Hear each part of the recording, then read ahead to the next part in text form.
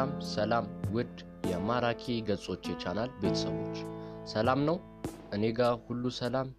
ዛሬም እንደተለመደው አሪፍ ፕሮግራም ይዤላችሁ መጥቻለሁ። ያው ከእናንተ የሚጠበቀው አዲስ ከሆናችሁ subscribe ማድረግ እና የደውል ምልክቱን በማብራት ይህን ቤተሰብ መቀላቀል ነው። እንዲሁም like እና share ማድረጋችሁን እንዳትረሱ።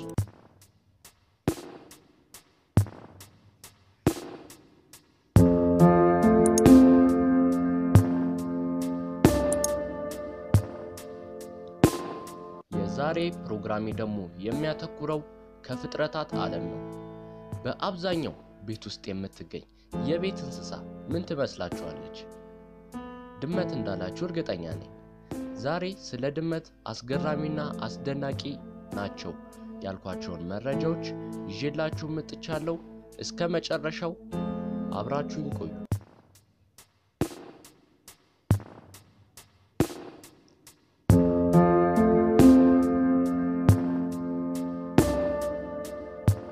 በአብዛኛው ድመትን ምናያት ምን እያደረገች ነው?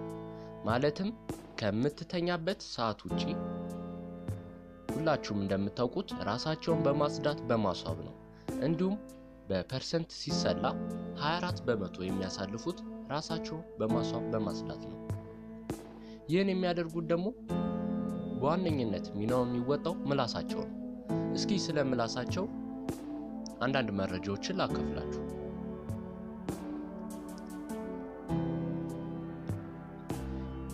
የድመት ምላስ 290 ፓፒላዎች ወይም ወደ ኋላ የተቀሰሩ እብጥ እብጥ ያሉ ነገሮች አሉት። እነዚህ ፓፒላዎች የጥፍር ያህል ጥንካሬ አላቸው። እያንዳንዱ ፓፒላ የተቦረቦረ ጎን ያለው ሲሆን ይህ ጥቅሙ በጣም ብዙ ነው። ከዛም መካከል አንደኛው ድመቷ ምላሷን ወደ አፏ ስታስገባ ወዲያውኑ ምራቅ ይይዛል።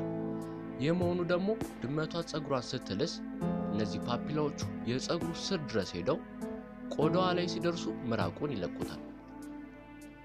የድመት ምላስ በየቀኑ 48 ሚሊ ሊትር የሚሆን ምራቅ ወደ ቆዳዋና ወደ ፀጉሯ ያደርሳል። የድመት ምራቅ በካይ ንጥረ ነገሮች የሚያሟሙ ኢንዛይሞች አሉት። በተጨማሪም ምራቋ ሲተን ድመቷን ያቀዘቅዛታል። ድመቷ ከአካሏ ከምታስወጣው ሙቀት አንድ አራተኛው የሚወገደው በዚህ መንገድ ነው። ይህ ደግሞ ለድመቷ በጣም አስፈላጊ ነው። ምክንያቱም ድመቶች ላብ የሚያመነጭ ብዙ ውጤ የላቸው። ፓፒላዎች የተቆጣጠሩ ፀጉር ካጋጠመው ደግሞ ወደ ፀጉሩ ስር ይበልጥ ጠልቆ ይገባል። በዚህ ጊዜ ከፍተኛ ጉልበት ስለሚኖረው የተቆጣጠረውን ፀጉር ጎትቶ መፍታት ይችላል። ድመቷ ራሷን ስትልስ ፓፒላዎቹ ቆዳዋንም ያነቃቁታል። ስለ ምላሷ ይህን ያልኳልኳችሁ ደግሞ እስኪ በአጠቃላይ ስለ ድመት አንዳንድ መረጃዎችን ላካፍላችሁ።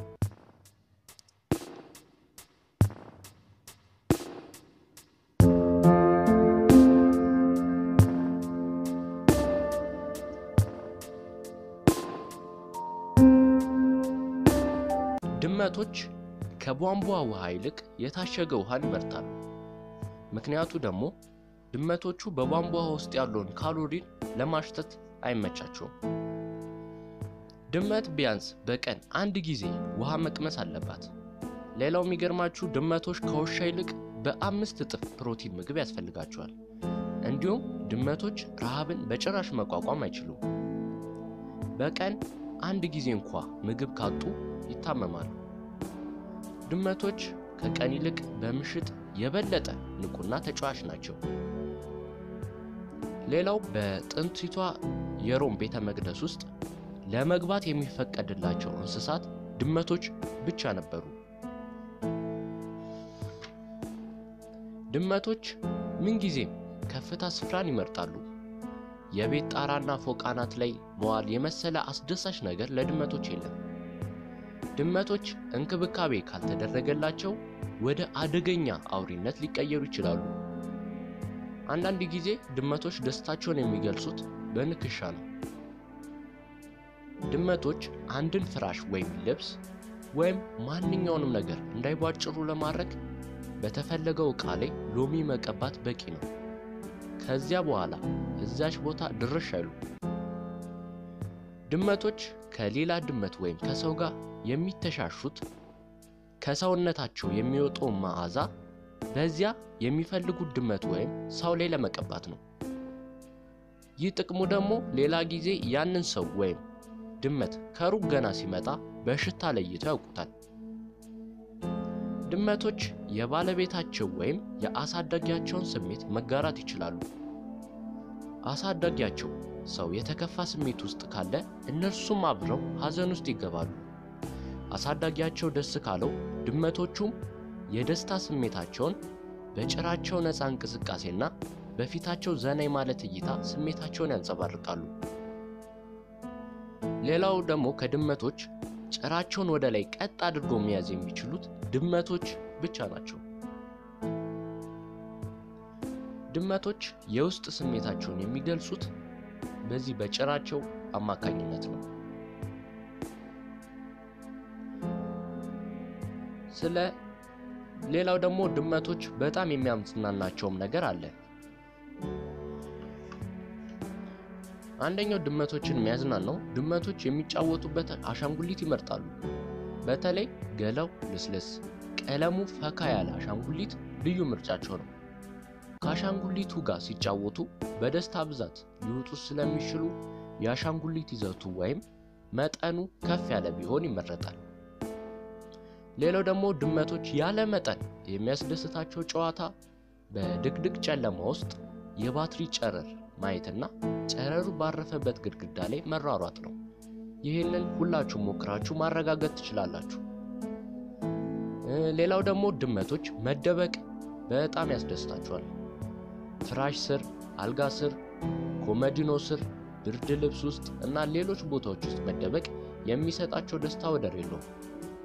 ፈረንጆችም ይህ አማሯቸው ሊሆን ይችላል ድመታቸው እንዳትጠፋባቸው ኤሌክትሮኒክስ ድምፅ መስጫ ጌጥ አንገቷ ላይ ያደርጋሉ።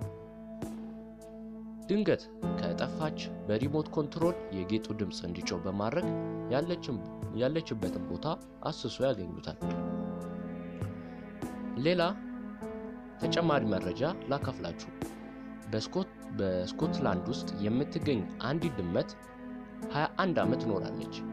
በዚህ በኖረችበት ዘመን ውስጥ 28899 አይጦች ገድላለች። ይህ የሆነው ግን በአይጦች መካከል በመካነ አራዊት ውስጥ ያደገች በመሆኗ ነው። እንዲሁም ለማደን ከደረሰችበት ጊዜ አንስቶ በቀን ቢያንስ አምስት አይጦች እያደነች ትመገብ ነበር። የዛሬ ፕሮግራሜ ይህን ይመስል ነበር። እንደተመቻችሁ ተስፋ አደርጋለሁ። subscribe፣ የደውል ምልክቱን all ማድረጋችሁን እንዳትረሱ። እንዲሁም ከተመቻችሁ like እና ለሌሎች እንዲደርስ share እንድታደርጉ እየጠየቁ በቀጣይ በሌላ በሌላ ፕሮግራም እስከምንገናኝ ድረስ ሰላም ቆዩ።